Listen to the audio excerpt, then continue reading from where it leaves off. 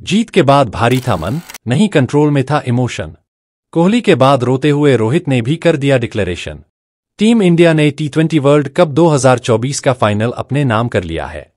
रोहित शर्मा की कप्तानी में भारतीय टीम ने ये करिश्मा किया और फाइनल में साउथ अफ्रीका को सात रन से हरा दिया. इस जीत के साथ भारत ने तेरह साल का आईसीसी ट्रॉफी जीतने का सूखा खत्म कर दिया है. रोहित शर्मा वो कप्तान है जो टीम इंडिया को वर्ल्ड टेस्ट चैंपियनशिप के final one day world cup 2023 के फाइनल में लेकर गए, लेकिन टीम इंडिया अंत में हार गई।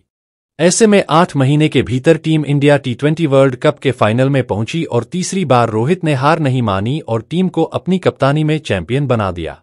रोहित शर्मा ने जीत के बाद विराट कोहली और सभी खिलाड़ियों का शुक्रिया अदा किया।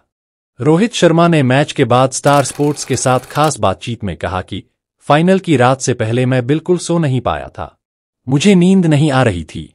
साल 2011 वर्ल्ड कप याद आया 2019 वर्ल्ड कप याद आया, वनडे वर्ल्ड कप 2023 याद आया। मैं अभी समझ नहीं पा रहा हूँ कि मैं क्या बोलूँ। ट्रॉफी जीतने के बाद इमोशन को बता पाना मुश्किल है। टीम को लड़कों ने इस टूर्नामेंट में मेरा काफ़ी सपोर्ट किया है। इसलिए मैं उन सभी का शुक्रगुजार हूँ। टीम इंडिया की जीत के बाद कप्तान रोहित शर्मा ने बड़ा बयान दिया है। रोहित शर्मा ने विराट कोहली की जमकर तारीफ़ की। रोहित ने कहा कि विराट कोहली पर कभी शक नहीं था। वो पिछले पंद्रह सालों से अपने खेल में टॉप पर हैं। बड़े मैचों में अक्सर बड़े खिलाड़ी ही कमाल करते हैं। उनके आसपास खेलने के लिए दूसरे खिलाड़ियों को रुकना ज़रूरी था। ये पूरी टीम की जीत है।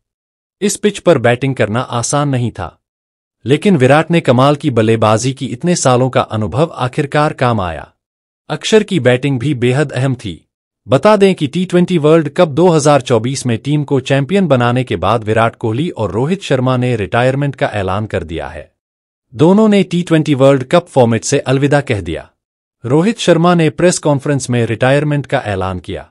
वहीं विराट कोहली ने मैच के बाद ब्रॉडकास्टर्स से बात करते हुए इसका ऐलान किया।